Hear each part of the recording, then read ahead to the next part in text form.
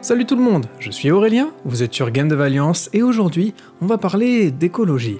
C'est un sujet qui nous concerne tous et forcément on en parle beaucoup ces dernières années.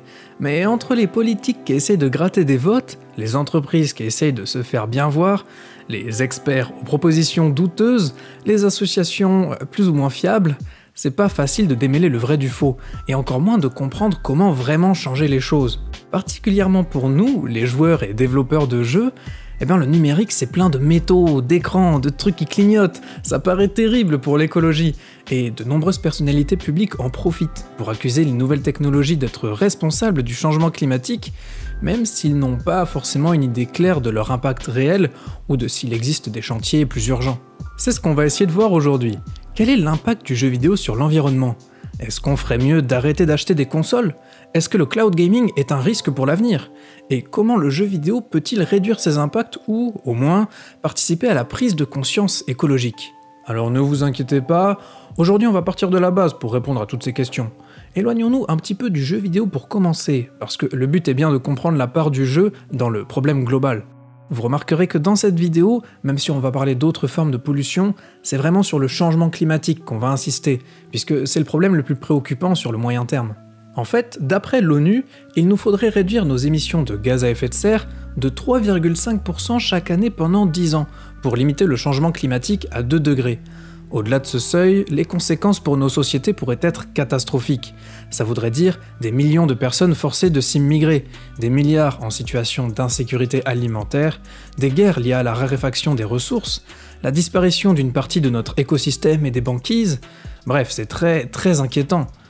Et pour revenir à ces fameuses émissions de gaz à effet de serre, dites-vous qu'on parle majoritairement d'un gaz, le CO2. On émet du CO2 lorsqu'on produit de l'énergie avec des matières vivantes, par exemple en brûlant du bois ou de la biomasse, ou bien en brûlant des anciennes matières vivantes fossilisées, comme le charbon, le pétrole et le gaz naturel. Ce sont d'ailleurs surtout ces trois derniers le problème, parce qu'ils contiennent du carbone qui a été enfermé en plusieurs millions d'années et que l'on relâche subitement dans l'atmosphère. Vous imaginez bien que si on brûle en quelques siècles des ressources qui ont pris des millions d'années à se former, on va finir par avoir un souci. Même s'il y a peu de chances pour que le pétrole disparaisse vraiment, les grands producteurs dans le monde sont petit à petit en train de passer leur pic de production. Pour éviter le déclin, ils sont obligés d'aller chercher de nouvelles formes de plus en plus compliquées à extraire, et les tensions géopolitiques autour de la ressource s'accroissent. C'est une triste destinée que connaîtront aussi le charbon et le gaz dans quelques dizaines d'années. Alors que nos sociétés se sont construites en consommant de plus en plus d'énergie chaque année, en comptant sur l'abondance du charbon, du pétrole et du gaz naturel, on est maintenant obligé de se mettre au régime. On est piégé d'un côté par la raréfaction de ces ressources et de l'autre par le changement climatique qu'elles entraînent. Et il faut pas croire qu'au quotidien, on pollue juste avec l'essence de nos voitures. La majorité de nos émissions sont en fait invisibles. C'est sûr qu'on brûle pas tous les jours du charbon dans notre appartement, et pourtant tous les objets et les activités qui font notre quotidien émettent indirectement du CO2. Prenons par exemple votre console. Elle a été fabriquée par des usines qui consomment de l'énergie, les matières premières ont dû être extraites dans des mines, un camion l'a amenée jusqu'à chez vous, et enfin une centrale vous produit de l'électricité pour la faire tourner au quotidien. Or, tous ces impacts indirects mis bout à bout, c'est très compliqué de les imaginer et d'estimer leur importance. C'est pourquoi on réalise des analyses cycle de vie. C'est un outil qui permet d'estimer l'impact d'un objet à partir de sa fabrication jusqu'au traitement des déchets. On peut ainsi quantifier la quantité de gaz à effet de serre qu'il émet, mais aussi récolter plein d'autres informations utiles, comme la quantité de métaux utilisés par exemple. Ces analyses évoquent euh, aussi d'autres formes d'impact, comme la pollution de l'eau, mais pour le coup, c'est un problème très local, qui n'est pas vraiment un sujet préoccupant en Europe.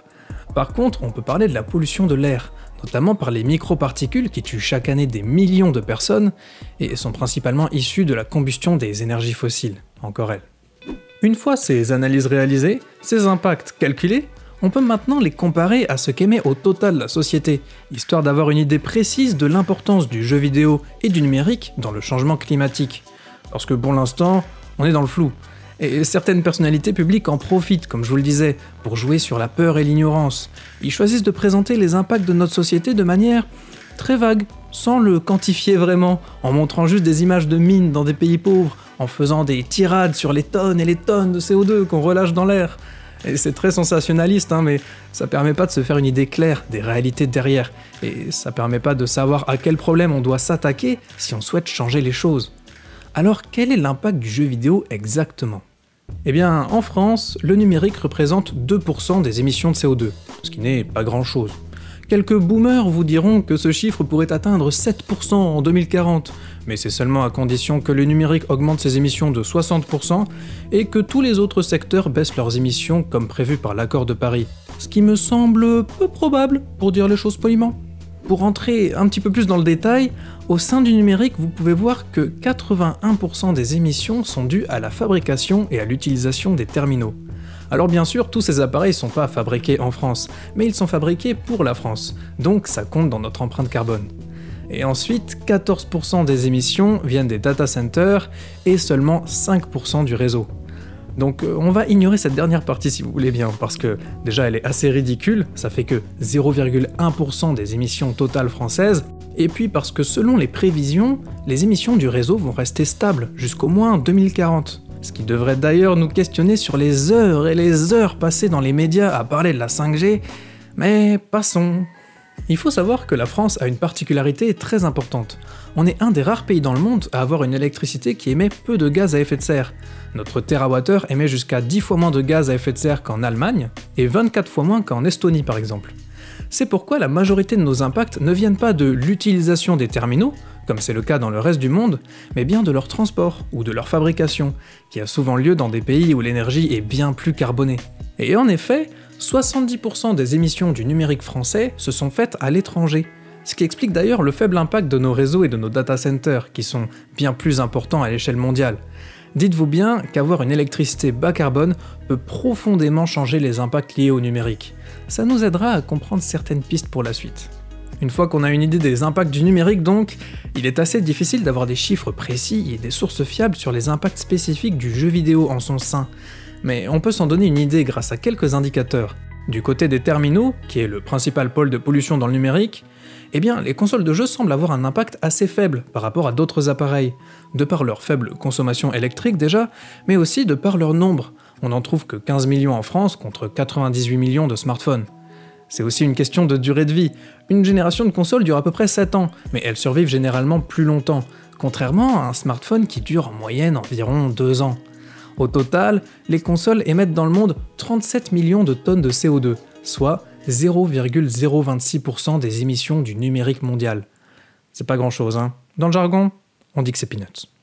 Et même du côté du PC gaming, qui est pourtant bien plus énergivore, la consommation serait de 75 TWh par année, en d'autres termes 0,003% de la production mondiale. Alors j'ai malheureusement pas les chiffres pour la France, mais j'imagine que c'est comparable. D'ailleurs, il est important de noter que même si nos consoles deviennent de plus en plus puissantes, elles n'en deviennent pas forcément plus énergivores pour autant. Depuis trois générations, c'est même plutôt l'inverse en fait. Par exemple, Nintendo n'a cessé de s'améliorer depuis la Wii, et même sur les consoles plus ambitieuses, depuis la PS3, les consoles de Sony sont devenues de moins en moins gourmandes tout en améliorant leur performance, et ils ont d'ailleurs annoncé de gros progrès sur la PS5. Tout cela devrait continuer à l'avenir, notamment grâce aux fabricants de processeurs comme ARM et AMD qui font de la performance énergétique un cheval de bataille. Restent les fameux data centers, mais là encore le jeu vidéo ne semble y avoir qu'un impact mineur, surtout si on le compare au streaming de vidéos qui représente 60% du trafic. Je pense que vous l'avez compris, mais disons-le clairement, l'impact environnemental du jeu vidéo est faible au sein du numérique. Numérique dont l'impact est déjà faible. Face à ce constat, plutôt que se dire euh, bah chouette en fait, on peut faire ce qu'on veut, il n'y a aucun impact, je pense qu'on pourrait avoir deux états d'esprit un petit peu plus intéressants que ça. La première posture qu'on pourrait prendre, c'est de se dire que même si le jeu vidéo n'est pas du tout le chantier le plus urgent, eh bien c'est celui dans lequel on est. En tant que développeur et développeuse, ou en tant que joueur et joueuse, c'est plus évident pour nous de commencer par là et de s'assurer que le jeu vidéo aille dans la bonne direction. Pour ça, la priorité est de défendre une électricité bas carbone et une industrie qui tourne à l'électricité. Ça permettrait de réduire quasiment tous les impacts liés aux jeux vidéo, que ce soit la construction des consoles ou l'énergie pour faire tourner nos petites parties de Fortnite. Et on a déjà vu que la France était plutôt bien lotie, mais c'est un acquis à défendre et à exporter, notamment dans les pays qui produisent nos terminaux. Et ce serait bien de ne pas esquiver la question, comme le font les grosses entreprises de la tech qui se prétendent neutre en émissions carbone, alors que ce n'est que des petits tours de passe-passe comme les contrats d'énergie verte. Une électricité moins carbonée ira de pair avec la dématérialisation de certaines pratiques du jeu vidéo. Même si les data centers ont un impact et consomment de l'énergie, ils peuvent remplacer des pratiques physiques qui étaient encore plus polluantes. Par exemple, un jeu téléchargé sur votre store émet 23 fois moins de CO2 que l'achat d'un jeu en Blu-ray, tout en consommant moins de métal et de plastique. Même en imaginant que cela ait augmenté le nombre de jeux vendus, la différence est trop importante pour ne pas être positive. Alors bien sûr, il est moins facile de prévoir si les services de cloud gaming auront un effet aussi vertueux d'un point de vue écologique. De la même manière que le streaming de vidéos actuellement, ces services vont sans doute être très gourmands en data center. Mais d'un autre côté, ils permettront sans doute d'utiliser moins d'énergie et de fabriquer moins de consoles, tout en rendant le jeu vidéo plus accessible. En effet, on sait déjà que la disparition des petits réseaux d'entreprises, qui ont été remplacés par les gros services de cloud mutualisés, ça a permis d'économiser beaucoup d'énergie, tout en réduisant le coût d'entrée. On pourrait donc imaginer que le cloud gaming irait dans la même direction, étant donné qu'un gros serveur sera forcément mieux optimisé en adaptant sa puissance et sa consommation par rapport à nos petits ordinateurs personnels. Mais que ce soit pour les machines dans le cloud ou pour nos vieux appareils à nous, dans tous les cas il faudrait aussi pousser à plus de recyclage. L'informatique est loin d'être le premier client de l'industrie minière, mais on a tout de même notre part à faire sur les fameuses terres rares par exemple. Si elles sont généralement, comme leur nom ne l'indique pas, plutôt abondantes en fait, elles sont très difficiles à extraire, et souvent dans des pays qui ne se soucient pas des conditions de travail des mineurs. Et elles sont quasiment pas recyclées, parce que c'est pas rentable tout simplement. Enfin, même si les consoles ne sont pas plus gourmandes en énergie qu'avant, ça reste que faire durer nos appareils le plus longtemps possible aide beaucoup à réduire les impacts. Ça passe en grande partie par la lutte contre l'obsolescence programmée, mais aussi par le fait de continuer à avoir des générations de consoles qui durent longtemps. Et ça, ça veut aussi dire pousser l'optimisation des jeux au maximum, ce qui est une bonne chose pour nous. Un jeu bien optimisé, c'est probablement un jeu où il y avait assez de seigneurs dans l'équipe pour maîtriser les technologies utilisées, et donc, on peut l'espérer, un studio où les développeurs avaient un peu plus de temps pour faire leur travail, où il y avait moins de crunch démentiel qui ferait fuir les équipes. Mais bon, comme je vous le disais, se battre pour faire avancer le jeu vidéo dans la bonne direction, c'est bien joli, mais c'est pas ça qui va nous sauver. Les impacts sur l'environnement sont mineurs par rapport à d'autres secteurs, et la majorité de ces impacts sont indirects ou hors de France. La seconde approche qu'on pourrait donc avoir serait de considérer que le jeu vidéo doit, en tant que médium, participer à la prise de conscience écologique. Ces dernières années, même si les jeux sont restés une source de divertissement, un peu comme un sport, ils se sont également de plus en plus imposés comme un médium artistique comparable au cinéma, qui serait capable de traiter des sujets sociétaux, philosophiques ou d'actualité. Malheureusement, le thème de l'écologie reste pour le moment très sous-exploité. Même si on retrouve le thème de l'environnement au sens large depuis les premières consoles, dans des jeux comme Captain Planet ou Super Mario Sunshine, on restait trop souvent sur un discours moraliste un peu naïf, qui va par exemple opposer les méchants robots qui représentent la méchante industrie, et une nature utopique avec des jolies fleurs et des petits animaux que le héros devra sauver. Et encore aujourd'hui, beaucoup de jeux sont considérés comme écolos simplement parce qu'ils proposent de s'évader dans une belle nature fantasmée. Ce qui est certes très dépaysant pour beaucoup d'entre nous, et taquine un petit peu notre culpabilité de méchants individus pollueurs mais ça n'aide pas vraiment à produire un vrai discours sur l'écologie. Bien qu'on puisse utiliser le thème de la nature pour sensibiliser à sa préservation, comme le fait Neverlone par exemple, avec ses mini-documentaires dans le jeu, bah, cette naïveté pousse aussi certains jeux à tenir des discours complètement déconnectés de la réalité, mais qui sont pourtant présentés comme des maîtres étalons par les médias spécialisés. Quand je dis ça, je pense à Stardew Valley, un jeu très sympathique au demeurant, mais qui tombe complètement dans une tendance actuelle dénoncée par de nombreux agriculteurs, en racontant l'histoire d'un citadin qui n'a jamais planté une carotte de sa vie, mais qui s'improvise agriculteur parce qu'il a hérité d'un bout de terre, et qui va sauver le village des tentacules d'une méchante multinationale. Dans la réalité, les pauvres apprentis ingénieurs agronomes avec leurs super idées de permaculture se heurtent très vite à la réalité d'un métier difficile. L'agriculture dépeinte dans Stardew Valley où le joueur nourrit tout un village avec des navets plantés à la main et irrigués à l'arrosoir, n'a pas grand chose à voir ni avec la réalité du métier d'agriculteur, ni avec les défis écologiques et techniques que traverse cette profession. Ce qui, en soi, n'est pas un problème pour une modeste œuvre de fiction, mais ça devrait questionner la manière dont on en fait l'éloge. Dans un tout autre style, on pourrait aussi parler de Satisfactory, dans lequel l'énergie bas carbone qu'est le nucléaire souffre de nombreux désavantages environnementaux, on doit stocker de nombreux déchets nucléaires que l'on ne peut pas détruire, on doit faire attention aux radiations de l'uranium qui peuvent tuer notre personnage, etc. Mais à côté de ça, le jeu nous pousse à brûler du charbon et du pétrole par milliers de tonnes sans aucun désavantage. Comment ça toute cette pollution inutile Ah non, commencez pas, hein. recommencez pas avec la pollution. Hein. Je vous ai dit qu'on savait pas. Si ça se trouve ici, c'est le CO2 qu'on respire, exactement, voilà Si ça se trouve, on sauve la vie de la planète. On est dans un univers alternatif, on n'a pas l'histoire. Ne jugez pas, only facts On voit bien que là, les développeurs parlaient plus de leurs peurs et de leurs préjugés personnels que de vraies problématiques écologiques. Mais à côté de ça, faut tout de même reconnaître que de plus en plus de jeux abordent le sujet, même si c'est juste en toile de fond. Par exemple, très récemment, il y a As Far As the Eyes, du studio montpelliérain Unexpected, qui, derrière une œuvre de fiction mignonne, touche du doigt la question des catastrophes climatiques et des immigrations qu'elles entraînent. Ce sont des sujets qui sont encore trop peu traités par les genres comme le post-apo, je trouve, qui restent très bloqués sur les catastrophes sanitaires ou militaires. Et puis c'est de plus en plus rare de voir des jeux qui nous laissent exploiter les ressources naturelles gratuitement. Dans Factorio, la difficulté est croissante avec la pollution, et dans Civilization 6, on est confronté à des catastrophes climatiques et à la montée des eaux. De notre côté, avec la popularisation de la vulgarisation scientifique, les avancées de la recherche sur le sujet, on espère voir de plus en plus de jeux vidéo s'attaquer frontalement aux grands enjeux écologiques. Si je vous donne les principales sources de pollution dans le monde, vous aurez peut-être des idées de jeux qui pourraient en parler. Vous avez notamment le secteur de l'industrie, dont l'enjeu principal devrait être d'abandonner les énergies fossiles au profit d'une électricité bas carbone. Ensuite, les bâtiments, qui sont responsables tout de même de 18% des émissions, et dont plus de la moitié est en fait due au chauffage. Pour améliorer ça, il faudrait mieux isoler les bâtiments, mais aussi remplacer les chauffages au gaz et au fioul par des technologies plus modernes. Et puis, il y a l'agriculture. C'est un gros sujet puisque le secteur est responsable de 25% des émissions mondiales, et là-dedans, la moitié est causée par la surconsommation de viande et de produits laitiers. Enfin, les transports, qui sont responsables de 14% des émissions au niveau mondial, mais de près d'un tiers dans les pays riches comme la France, et doivent en fait quasiment l'intégralité des émissions au transport routier.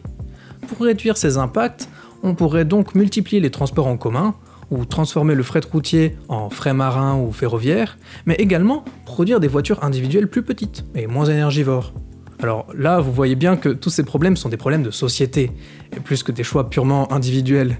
C'est là que le jeu vidéo pourrait avoir un véritable impact, en imaginant, via la science-fiction, le fantastique ou, l'utopie, des sociétés plus écologiques, ou au contraire, via la dystopie ou le post-apo, nous faire imaginer les impacts qu'aurait le changement climatique si nos sociétés échouent face à ce défi.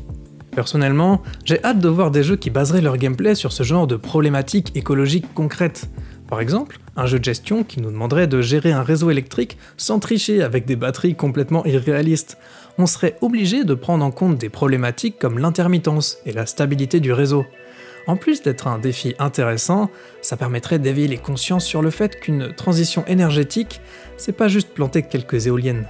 Enfin, ça passera aussi par l'abandon des préjugés et des fantasmes de nature qui occupent encore une place trop importante dans nos jeux vidéo actuels. Car si Stardew Valley rêve de potager, dans la réalité c'est la modernisation de l'agriculture qui permet d'utiliser de moins en moins de terres, de faire croître les forêts françaises depuis 200 ans, tout en nourrissant mieux la population. La transition écologique passera donc à la fois par le progrès technique et par les économies d'énergie, mais surtout par l'écoute des scientifiques et des professionnels, plus que par ses propres préjugés.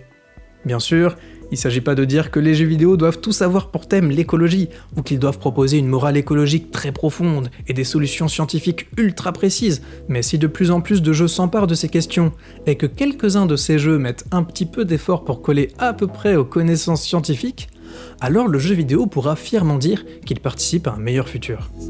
J'espère que cette vidéo vous a plu. Alors bien sûr, on a dû survoler certains sujets et en simplifier d'autres pour pas faire une vidéo trop longue. Mais on avait vraiment envie de faire cette vidéo parce que on trouvait rien sur YouTube ou dans la presse de très sérieux sur ce sujet. Généralement, les auteurs tombent vite dans le sensationnalisme, le moralisme, et s'éloignent rapidement de ce que disent vraiment les données scientifiques. Alors évidemment, c'est rarement mal intentionné, ces personnes sont convaincues qu'il faut se mobiliser pour l'écologie, mais par méconnaissance du sujet, elles rendent ces questions encore plus floues, voire défendent des idées contre-productives. C'est pourquoi vous trouverez dans la description les documents qu'on a utilisés, mais aussi des vidéos de vulgarisateurs qu'on a trouvés intéressants. Si vous souhaitez en apprendre plus sur la question, je vous conseille d'y jeter un œil. Et puis, si vous avez des questions supplémentaires ou que vous souhaitez débattre sur certains points, ne ratez pas le live de ce soir où l'on va débriefer la vidéo pour en discuter ensemble. Vous pouvez aussi rejoindre notre serveur Discord pour parler avec nous à toute heure de la journée. Merci beaucoup à tous les membres de la chaîne qui nous soutiennent et qui nous aident à améliorer les vidéos. Vous pouvez devenir membre avec le bouton rejoindre à côté de pour s'abonner, ou bien partager cette vidéo autour de vous parce que ça nous aide beaucoup aussi. Sur ce, je vous souhaite une bonne journée et à bientôt sur Game of Alliance.